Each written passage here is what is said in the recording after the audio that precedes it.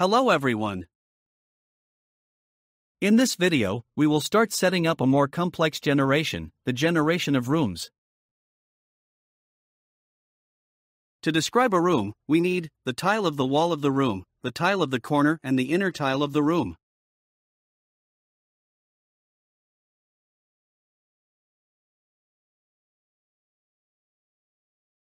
Something like this. It is also necessary to describe what is outside the room, for this you need a tile of emptiness.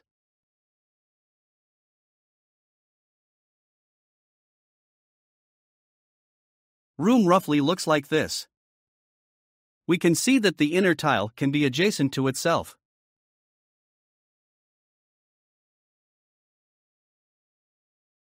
The wall is adjacent to the void tile, adjacent to the inner tile of the room and can also be adjacent to itself.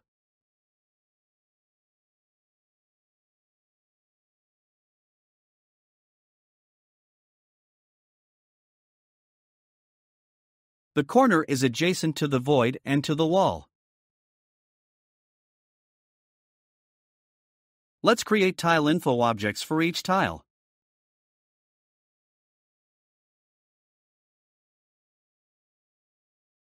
Let's create a folder where we will store all the tile info objects.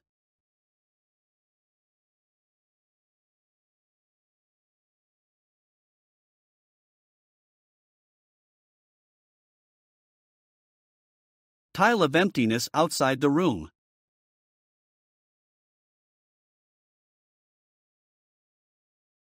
The inner tile of the room.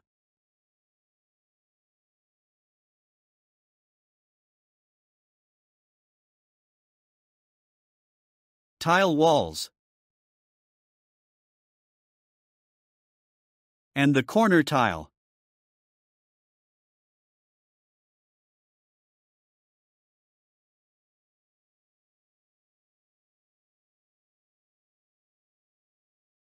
The tile is empty, since it is empty, therefore it will not have any geometry. Therefore, we do not specify any static mesh. The type of symmetry it has is X, because as we do not rotate the void, it will be empty. So it has only one state like the symmetry type X. We will leave the rest unchanged. Inner tile of the room. We'll take the mesh from the plugin folder.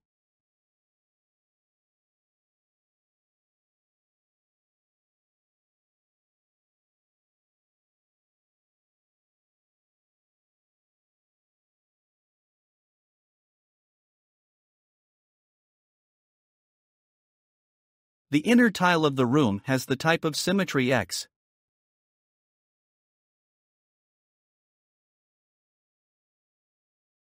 We will leave all other parameters unchanged. The next tile of the wall. Let's also take the mesh from the plugin folder.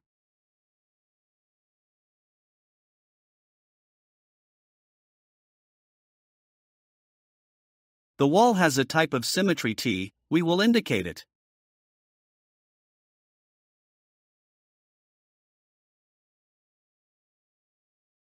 We will leave all other settings unchanged for now. And the last tile of the corner. Also take the mesh from the plugin folder. The corner tile has the symmetry type L.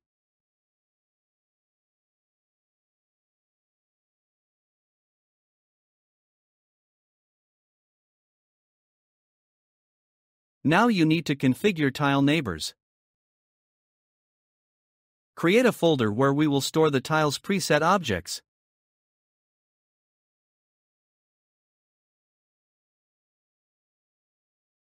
Create the tile's preset object.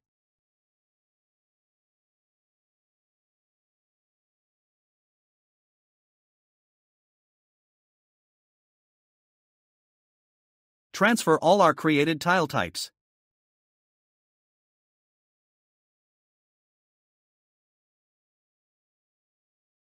It is better to specify neighbors from a simpler tile to a more complex one. The simplest is the void tile, let's start with it. tile is just next to itself. Since the symmetry type X has only one state and all its sides are equivalent, then all sides are automatically switched on immediately.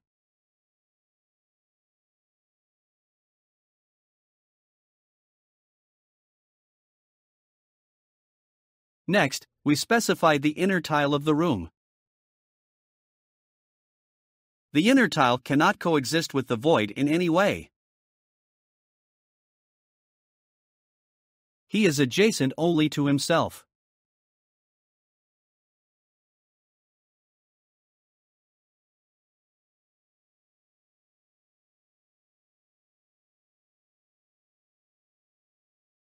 The tile of the wall can be adjacent to the void, with the inner tile of the room and by itself.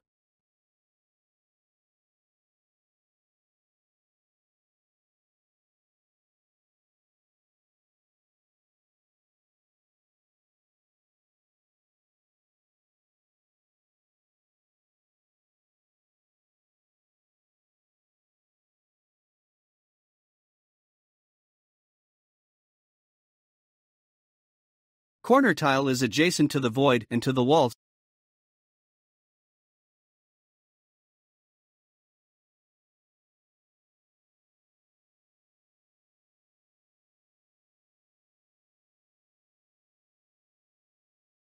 Since we indicated that the wall is adjacent to the inner tile of the room, it is not necessary to specify a symmetrical option that the inner tile of the room can be adjacent to the wall.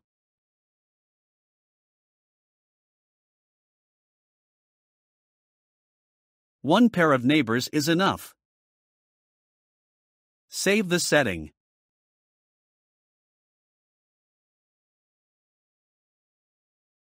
Let's move to the level created in the last video tutorial WFC Actor.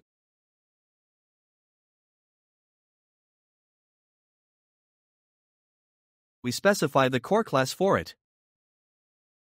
We specify the generation settings that we have now created.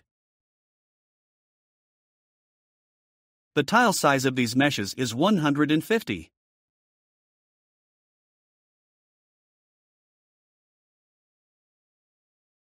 Reduce the generation size.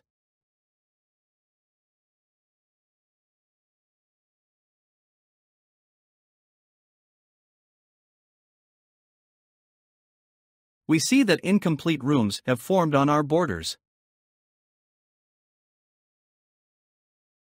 This is due to the fact that we have not disabled the ability to be adjacent to the generation boundary in the tile type settings.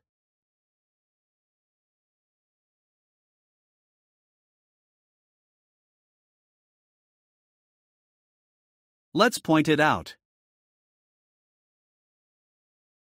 Inner tile of the room cannot be adjacent to the border. We turn off all sides. The inner side of the wall and the sides cannot be adjacent to the border.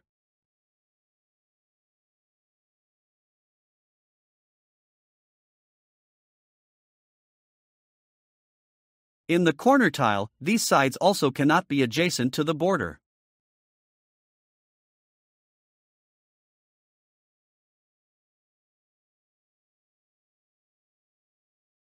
Regenerate. It turned out four rooms, all of them full.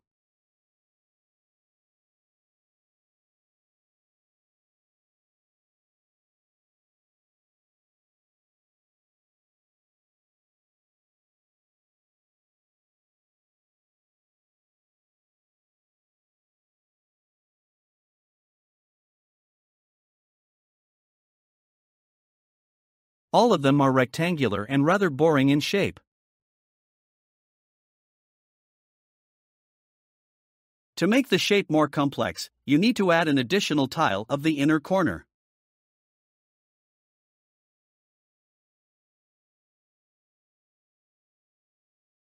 Something like this option. We will need such a new type of tile inner corner.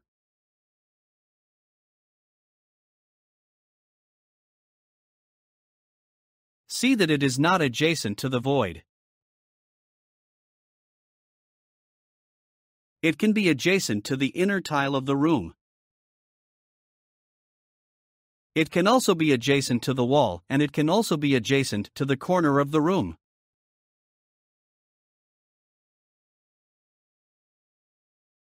Add a new tile type and specify possible neighbors for it.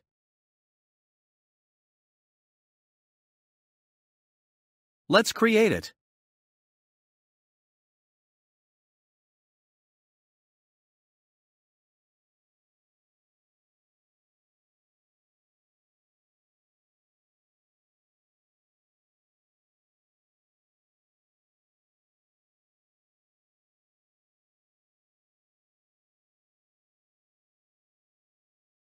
Let's take the mesh from the plugin folder.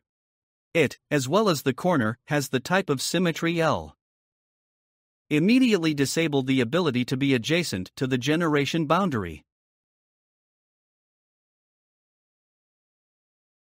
We put everything else for now as well.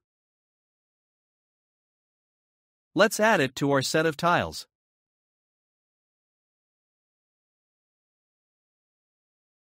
we will indicate possible neighbors for it.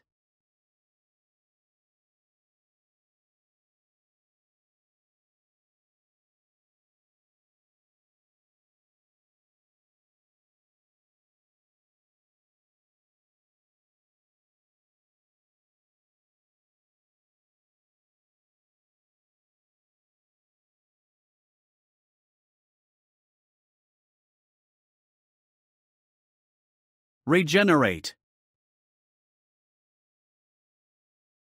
Now we have rooms of a more complex and interesting shape.